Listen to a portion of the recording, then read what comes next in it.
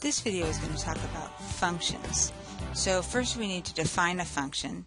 That's why I've called it the worksheet that you have. Function is a set of ordered pair. We usually think of x, y.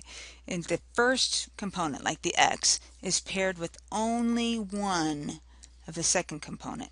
So if I had 1, 2 and 1, 3, that couldn't be a function because 1 was go with 2 and 3. It can only go to 1. The domain is all the possible x values of a function.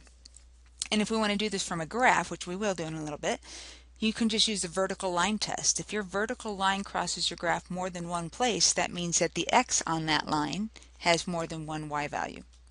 And then the range is the possible y values of a function, and this is just determined by any horizontal boundary kind of line. Like if you have a graph that tends toward the x-axis, then it would get close to zero, but anything above, we'd have a boundary line there.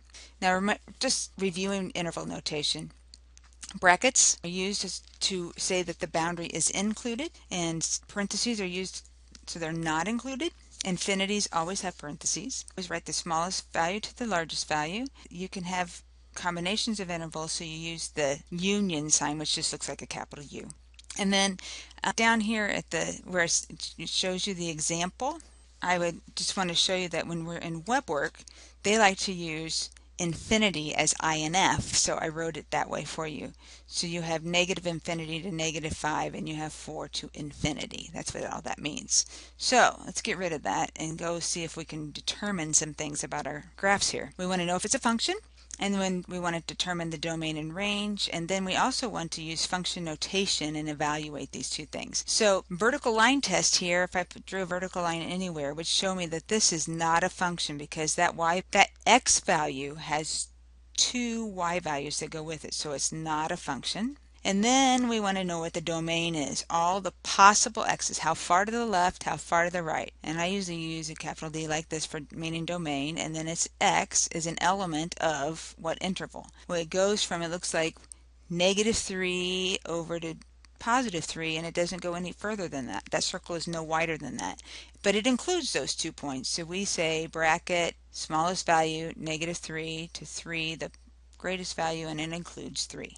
And the range is going to be a y as an element of what interval. And it looks like it goes up to 1, 2, 3, 4, and it goes down to 1 2, negative 3. And it includes, it hits that point, so it goes from negative 3 to 4. Finally, we want to evaluate. So f of 0. This means x is 0, and we want to find y. So if x is 0, we're right here, then we find out that y actually has two different points.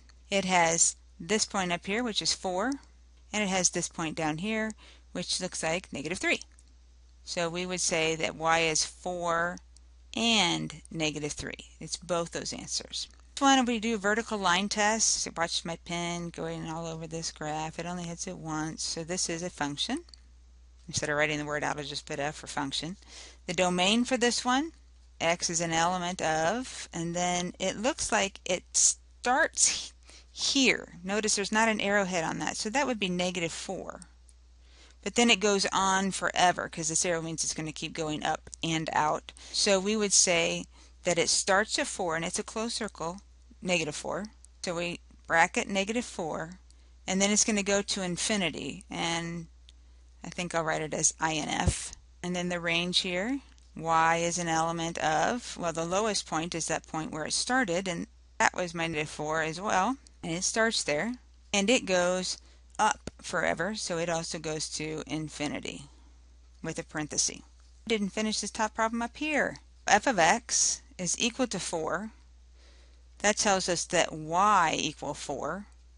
So we have to find out what x is when y equal 4. So y equal 4 is up here. And there's only one point, and that would be 0. x is 0. That's when y is 4. Down here again, f of 0, that means that x is 0, so we have to find y. And when we have 0 here on the x, we also have 0 um, for the y, and there's only one. And then f of x equal 4. It tells us that y equal 4 and x is equal to, when we come over here to 4, 1, 2, 3, 4, and then we go up to our graph, it looks like it's also 4. So it would be 4 there. So now we want to just look at function notation and evaluate.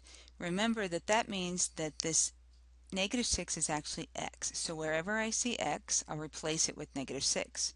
So I've got x squared, so it's negative 6 squared, and then plus 2 times that negative 6. So negative 6 squared is going to be 36, and 2 times negative 6 is going to be negative 12, and 36 minus 12 will give us 24. Now let's try it with 1 half.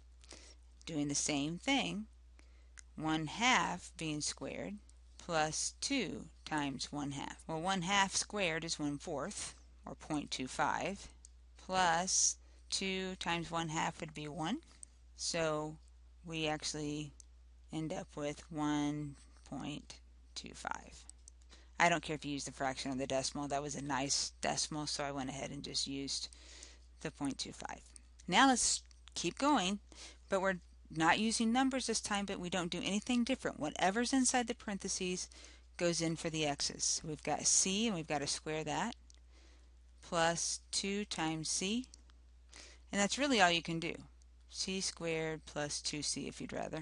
I'd take either one. One more. So now we have c plus 1 quantity squared plus 2 times c plus 1. c plus 1 squared, remember the shortcut, it's the first term squared plus twice the product. So c times 1 would be c times 2 would be 2c and then square the last so 1 squared would be 1 and then if I distribute here I get 2c plus 2 and then just simplify c squared 2c plus 2c is going to be plus 4c, and 1 plus 2 will be plus 3. All right, so now we have to talk about domain of a function when it's written in function notation. So how do we do that? Well, first thing you need to do is think about what do we know about square roots? We know that the square root, this value underneath the square root, then a has to be greater than or equal to 0, or else we don't have a real number. So here, we're going to say that 5a minus 2 has to be greater than or equal to 0. So 5a is greater than or equal to 2. Remember, adding or subtracting doesn't change the inequality sign. And we're going to divide by a positive 5, so that doesn't change the inequality sign. So we have a is greater than or equal to 2 fifths. Now, if I want to write that in interval notation, which is what it says, it means that this is the smallest value that I can have or anything bigger. So it's greater than or equal to, so that means a bracket. The smallest value is that 2 fifths. And then the largest value is going to be infinity with a parenthesis. Now let's look at this next one. We've got a square root again, so that we know the 5 over x minus 2 has to be greater than or equal to 0. And we also know that x minus 2, since it's in the bottom of a fraction, the denominator can't be 0. So we know that x cannot be, if we let x be 2, that'll give us 0. So x cannot be 2. Only thing that we have to worry about here is what's going to be in our denominator. So we would say that x minus 2 has to be greater than or equal to 0 because that numerator is already positive. It's not going to change signs. So x has got to be greater than or equal to 2, but it can't be equal to 2. So in this case, we would say that x, I forgot to write this last time, is an element of not including 2 up to infinity. We have that t plus 1 got to be greater than or equal to 0. And we know that 3t plus 2 cannot equal 0. Those are the two things that we really have to take into consideration here.